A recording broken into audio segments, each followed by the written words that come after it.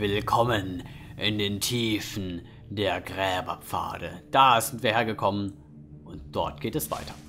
So, ja, und äh, ja, ich darf dich auf jeden Fall willkommen heißen in der nächsten Folge Enderal und mal schauen, was wir so alles finden in den Gräberpfaden. Auf jeden Fall finden wir Verlorene, das ist schon mal klar. Da hätten wir ja schon fast drauf wetten können. Oder nicht? Bam. Den haben wir weg. Den beschworenen Wächter, den kriegen wir auch gleich. Die sind ja alle kein Problem mehr. Ich weiß auch nicht, welche Stufe das Ganze hier ist, aber ich glaube, es ist nicht allzu hoch. Ein Fürst. Der Fürst sieht irgendwie cool aus.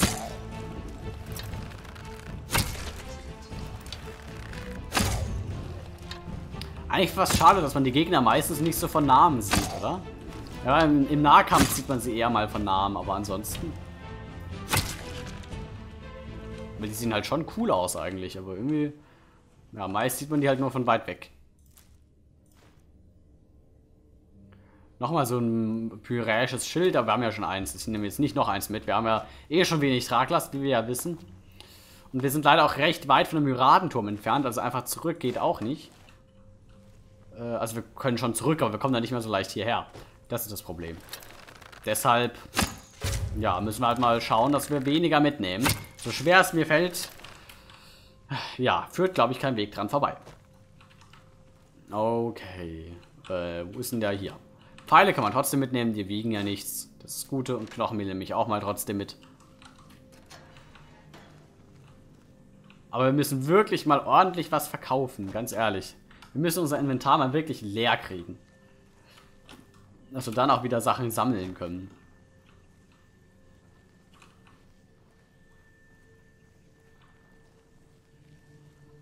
Sehr, sehr still hier.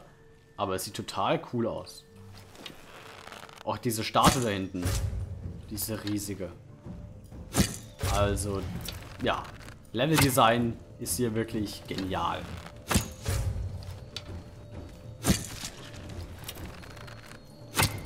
Ein Ahnengeist. Die sehen auch immer irgendwie gefährlich aus. Und sind sie, glaube ich, auch. Ich weiß gerade gar nicht mehr, aber wir haben sie. Okay. Wir haben den Ahnengeist. Okay, 215 EP. Ich achte gerade mal ein bisschen, wie viele Erfahrungspunkte die so geben. Äh, wie viel war das gerade? 270 EP. Ja, das geht. Für so ein Skelett, so ein einfaches, ist das eigentlich echt schon ordentlich.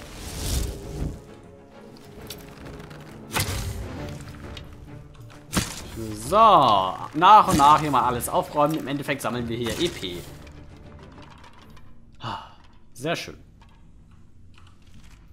Hier haben wir noch Knochenmehl. Hier haben wir noch Knochenmehl. Da haben wir noch Ektoplasma und Geistertuch. Natürlich, Geistertücher immer wieder gerne. So. Und da vorne läuft noch ein Skelett rum. Das schauen wir, das holen wir uns gleich.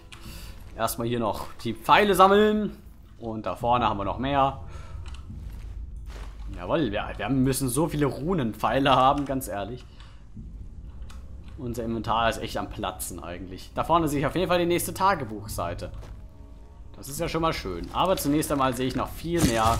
Warum, warum sind hier so viele Wächter und Verlorene und was nicht auch alles? Das ist wirklich ziemlich überproportional viel hier, finde ich. Sonst als ist es auch oft recht viel, aber hier ist es schon ordentlich. Eine wahre Seuche schon. So. Okay, aber glücklicherweise sind die ja nicht so stark. Dann hat man die auch recht schnell ausgeschaltet. Und ja, hier haben wir die nächste Tagebuchseite, wie schon gesagt, Seite 4. Ja, fehlen nur noch drei Stück, also wir haben schon über die Hälfte gesammelt. Nicht schlecht. Geht ja doch schneller als gedacht. Und im Endeffekt ist es einfach nur eine kleine Quest, die einen quasi durch das Dungeon durchführt. Das war es eigentlich auch. Aber ist ja ganz nett. So. Ah, der hat nichts dabei. Oder wir haben ihn schon durchsucht, das weiß ich gerade nicht. Ich habe nämlich ein bisschen die Übersicht verloren. Ist auch egal, die haben, wenn eh nur Pfeile oder Knochenmehl dabei. So wertvoll ist jetzt auch nicht, wenn wir mal ehrlich sind. So. Okay, dann geht's weiter.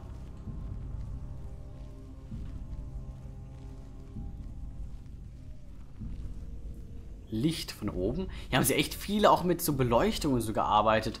Licht, das irgendwo durchscheint und so weiter. Oh. Habe ich schon mal gesagt, dass die Dungeons hier immer so schön designt sind und immer anders aussehen? Ich glaube, das habe ich noch nie gesagt, oder? Ah. Aber es stimmt halt einfach. Und was ist da vorne? Oh nein. Knochenreißer, kann es sein? Ja, Knochenreißer. Mit denen habe ich keine besonders gute Erfahrung gemacht, weil die sind verdammt schnell, lassen sich von den Spinnen nicht groß aufhalten. Na, wenigstens hat er jetzt, äh, ist er jetzt anfällig. Das ist schon mal gut. Und dann können sie so schnell angreifen. Also das ist echt... Knochenreißer sind echt gemeine Gegner, muss ich sagen. Die Klaue war zu viel. Natürlich, die Klaue. So, hat er uns ein bisschen... Ja, wir essen mal was. Eigentlich brauchen wir nicht viel. Ach komm, wir essen trotzdem mal einen, einen Käse. Haben wir keine Käseräder mehr? Ist ja krass. Okay, dann essen wir einen Kürbis. Ja, okay. Der Kürbis reicht. Und, und wir können auch wieder schnell laufen. Das ist ja schön. So, aber wie gesagt, ist, am Ende des Dungeons kriegen wir bestimmt noch eine ganze Menge an Zeug. Und dann ja gut, ganz am Ende können wir auch mit, mit zu viel Traglast uns wegteleportieren. Das geht ja glücklicherweise. Es wäre mies, wenn es nicht gehen würde. Ich glaube, in Skyrim gab es keine Schnellreise, ohne dass man, wenn man zu viel Traglast hatte. Das war immer nervig. Muss man immer den Zauber auswählen oder den, den, den Trank trinken und dann ging es dann plötzlich wieder. Wir haben auch hier Tränke dabei, aber die möchte ich eigentlich nicht immer... Äh, Jetzt habe ich mich hier hochgebackt, so aus Spaß. Jetzt ist ja auch noch eine Schatulle. Eine Edelsteinschatulle. Wie geil ist das denn? Dieses Spiel ist so genial. Ich denke nur, oh, hm, vielleicht kann man sich da hochbacken. Ja, back mich hier irgendwo komplett durch und dann ist da tatsächlich eine Schatulle. Für alle Backfreunde ist da oben eine Schatulle. Schön. Äh, genau, von oben habe ich auch hier diese Tagebuchseite schon gefunden. Die ist sehr schön, Seite 5. Also man muss auch, die meisten Tagebuchseiten sind eigentlich so platziert, dass man sie fast immer sieht. Aber man muss durchaus auch manchmal ein bisschen danach schauen. Aber ich schaue mich generell überall um. Von dem her, für mich ist das kein Problem. Aber andere Leute rennen da vielleicht schneller durch. Die, für die ist es vielleicht ein bisschen schwieriger, alle Seiten zu sammeln. Ich weiß es nicht. Naja, nachher übersehe ich wahrscheinlich auch eine Seite. Das wird bestimmt noch passieren. Nun ja, es geht weiter. Da vorne sehe ich eine Kiste. Eine dicke, fette Truhe. Und natürlich noch ganz viele verlorene. Ah, ich, ich schleiche nicht. Das war das Problem. Ich war gerade verwirrt. Hä, warum mache ich so wenig Schaden? Ich mache doch normal immer Schleichschaden. Ja, deswegen. Daran lag es wohl.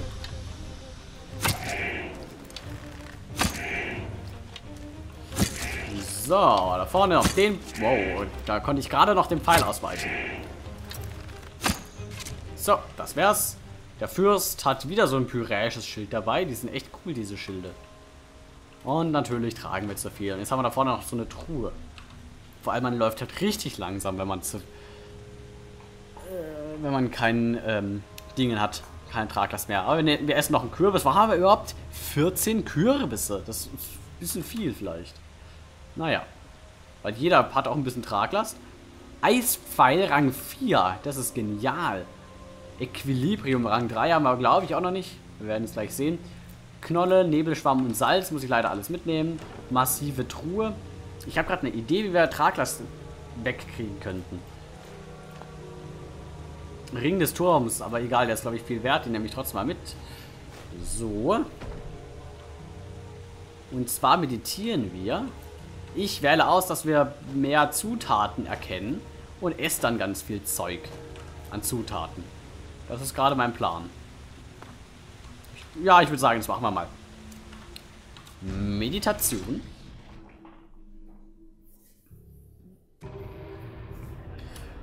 Und dann haben wir hier die feinfühlige Zunge. Offenbart eine weitere Wirkung. Schalten wir frei. Dadurch sollten wir jetzt, glaube ich, auch keine Punkte, ja genau, keine Erinnerungspunkte mehr frei haben. Dann gehen wir zurück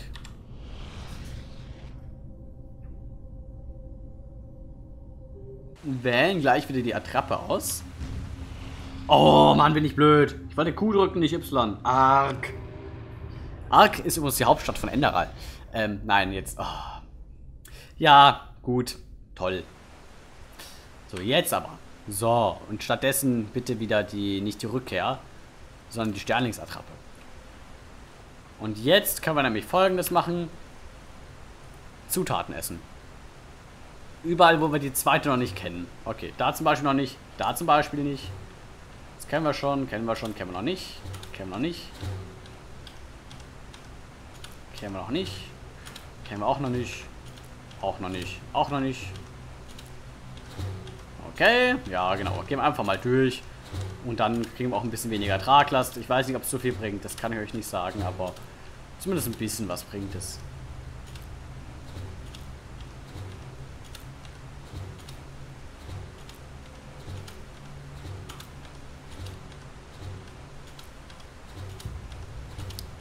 So, das ist ja auch eine Menge Spaß hier. So, gleich sterben wir wahrscheinlich, weil wir so viele Effekte haben. So. Haha, schaut mal nach rechts. Ach du Scheiße. Ja. Okay, warum auch nicht? Aber manche Effekte machen uns stärker, manche machen uns schwächer. Also kann ich gerade gar nicht so genau sagen, ob wir jetzt stärker sind oder schwächer sind als normal. Ne, da ist nichts mehr drin. Da brauche ich gar nicht reinschauen. Eigentlich. Na gut, dann gehen wir mal wieder voran. Die Effekte sind eh gleich alle weg. Ja, noch ein paar hässliche Ratten. Mu-Ratten. Die lebt noch, die Ratte. So. Aha. Und eine Lehrlingstruhe. Toll. Natürlich, ich muss gleich noch hier eine Truhe stehen, dass ich wieder Zeug mitnehmen muss. Ah, perfekt. Wenigstens haben wir sie gleich aufbekommen. Einzelteile haben extrem wenig Gewicht. Die Tränke, die Rolle, das Zauberbuch. Ah, stimmt, wir haben noch Zauberbücher. Wir haben noch Zauberbücher, Leute. Wir haben noch Zauberbücher. Die sind, glaube ich, unter Bücher. So.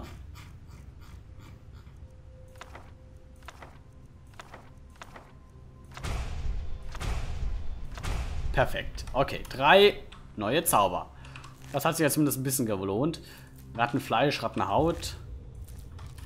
Okay, noch haben wir genug Traglast frei. Ja, drei, drei Drei Punkte haben wir frei. Das ist jetzt nicht so viel. Ich weiß noch nicht, ob die Tagebuchseiten Gewicht haben. Zwei fehlen uns noch. Zwei Seiten fehlen, glaube ich, noch. Okay, hier haben wir noch so ein... Hier sind wir noch gleich. Irrlicht. Ein mächtiges Irrlicht. Ach du Scheiße. Oh. Ich dachte, das ist wieder mächtig, aber das ist überhaupt nicht stark. Ich dachte jetzt gerade, wir haben ein Problem, weil das ein mächtiges Irrlicht ist, aber jetzt ist es nur so ein billiges Ding da. Oh, die sind aber alle mächtig. Okay. Jetzt habe ich doch ein bisschen Respekt davor. Aber so stark sind die echt nicht. Man muss sie halt treffen, ne? Das ist echt... Ja, da haben wir es einmal. Nochmal. Da vorne haben wir noch eins. Wo ist es denn? Da ist es. Zack. Okay. Das hat gut geklappt. Moment, ganz kurz. Gut. So, manchmal freest nämlich OBS die Preview ein. Das war mal wieder so. Aber ein kurzes Raustaben hat es schon gefixt. So, weil ich sehe gerne, was ich aufnehme, weil dann sehe ich auch, wenn ich nichts aufnehme. genau. Auch immer mal wieder überprüfen, oh, läuft die Aufnahme überhaupt? Weil sonst nimmt man eine Stunde auf und merkt dann, ups, ich habe gar nicht auf Aufnahme starten gedrückt. Das ist immer schlecht. Das ist immer so ein bisschen, das passiert leider öfters, als man erwarten würde.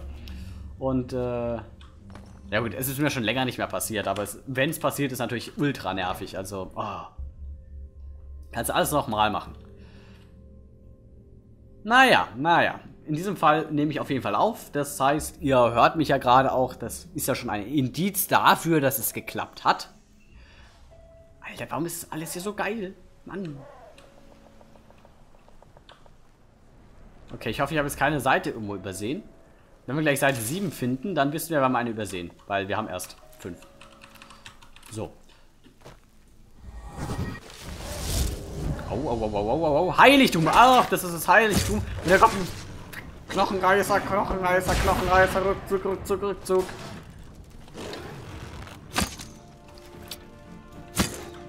Rückzug, Rückzug, Rückzug.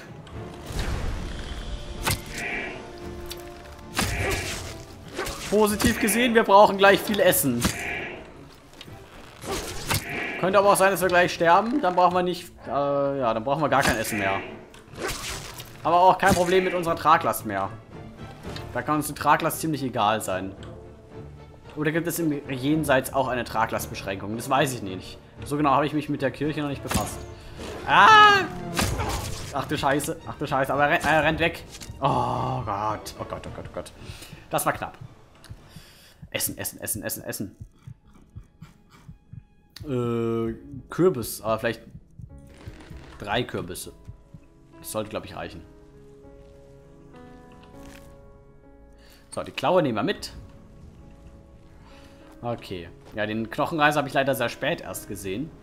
Deswegen, da konnten wir uns nicht mal anschleichen. Eigentlich wollte ich nämlich hier hoch und blauen Quarz mitnehmen. Und Lavendel wollte ich mitnehmen. Und Weizen wollte ich mitnehmen. Und ich wollte noch mehr Weizen mitnehmen. Und ich wollte noch einen Granatstein mitnehmen. Und ich wollte noch Lavendel mitnehmen. Und noch mehr Lavendel mitnehmen. Und was ich noch wollte, ist äh, die Skarak-Schuhe, weil das ist ein Set-Gegenstand. Das Problem ist, die sind sehr schwer und vielleicht haben wir die schon. Verdammt. Den Wegesreudenhelm brauchen wir glücklicherweise nicht. Die Pelze brauchen wir auch nicht unbedingt, weil die sind sehr schwer und haben nicht so viel Wert. Das Problem ist, wir haben schon, wir tragen schon zu viel. Und wir haben hier noch Weizen. Wir haben hier noch blaue Malfasblüten. Wir haben hier noch violette Malfasblüten. Wir haben eine Holzschüssel, die wir nicht brauchen. Aber wir haben noch eine Malfasblüte da. Genau. Haben wir noch Eisenerz. Ach du Scheiße, noch mehr Eisenerz. Warum, warum liegt hier so viel rum? Meine Güte. Ich, ich, ich muss alles mitnehmen. Wir essen noch mehr Kürbisse. So einfach ist es. Das reicht halt noch bei weitem nicht. Aber wobei es geht. Die Kürbisse haben echt viel Gewicht.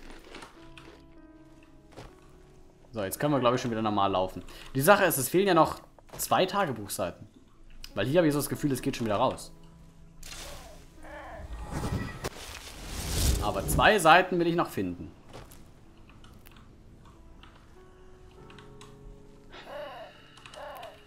Ich muss auch wirklich jeden scheiß Pilz sammeln. Jetzt haben wir schon wieder zu viel Gewicht.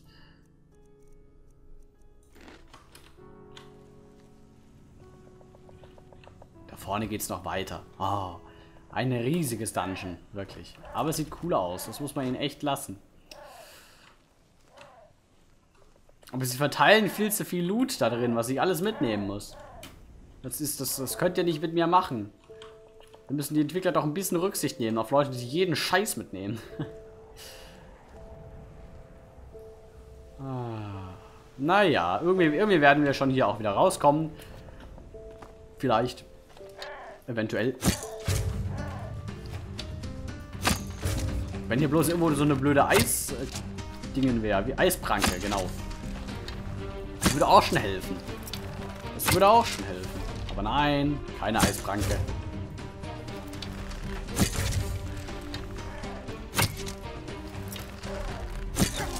Fürst. Vor allem hier einmal Attrappe werfen. Weil der Fürst, der will mir doch irgendwie gerade ans Leder. Ach du Scheiße. Bin ich tot? Der hat... Das, das, das war ein Schlag.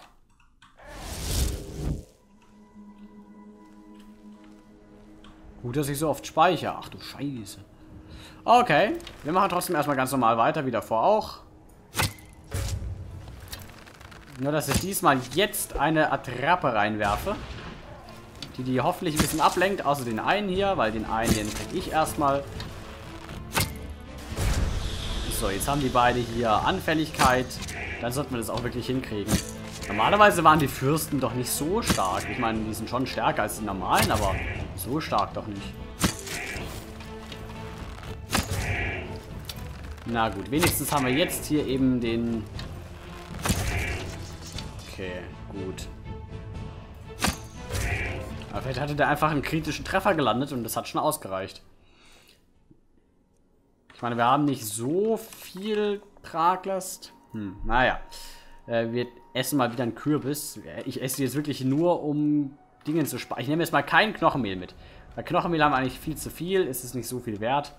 Ich kann eigentlich sogar, warte mal, ein bisschen Knochenmehl weglassen, ganz ehrlich. So viel brauchen wir überhaupt nicht. Hier haben wir 113 Knochenmehl. Das sind allein schon 50 Gewicht.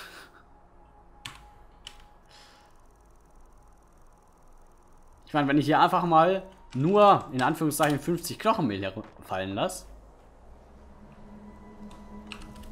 habe ich schon wieder richtig viel Gewicht frei. Okay. Ich werde auch gleich das Knochenmehl mal verkaufen, was ich habe. Bisher habe ich eigentlich immer gedacht, ah, die Alchemie-Zutaten, die möchte ich ja noch irgendwie ver verwenden. Die möchte ich jetzt nicht alle verkaufen. Ah, Quatsch. Die verkaufen wir. Gerade das Knochenmehl. Weil es ist schon, hat auch schon recht viel Gewicht tatsächlich. Ist es so gewollt? Weil so ein bisschen buggy sieht es gerade schon aus. Aber vielleicht ist es auch gewollt. Ich weiß es nicht.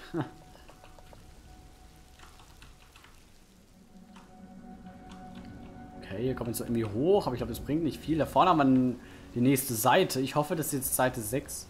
Verdammt, es ist Seite 7. Scheißenreck. Es fehlt eine Seite. Und das war ein Dietrich. Verdammt. Okay, da bewegt es sich. Perfekt. Perfekt. So. Mhm. Ah, verdammt, jetzt fehlt uns eine blöde Seite. Scheißendreck. Es ist genau das passiert, was ich befürchtet hatte, und zwar, dass wir irgendwo eine Seite übersehen. Aber wo? Aber wo? Was ist da hier vorne passiert? Vielleicht liegt die ja noch hier irgendwo rum. Die Seite. Dieses Dungeon ist halt leider nicht klein. Die Seite kann halt mehr oder weniger überall sein. Also ich bin mir ziemlich sicher, dass es Seite 6 ist. Also wir müssen nicht zu weit nach hinten, weil die waren ja auf jeden Fall chronologisch sortiert. Also ist der Suchradius quasi schon eingeschränkt. So schlimm ist es nicht. Aber trotzdem haben wir einen recht großen Suchbereich. Würde ich mal behaupten. So, da vorne haben wir noch irgendwelche Gegner, da will ich auf jeden Fall mal hin. Das sieht nämlich irgendwie spannend aus, so. Okay, wir sind ja auf jeden Fall irgendwo in der Luft. Oh, hier haben wir jeden Atronarchen genau einmal. Okay. Oh. Achso, das ist ein Schlammelementar. Die sehen irgendwie wild aus, sind aber eigentlich nicht wirklich gefährlich.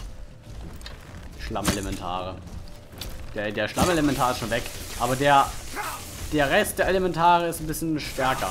Wir haben ausgerechnet den, den schwächsten zuerst genommen. Das war eigentlich jetzt nicht so schlau.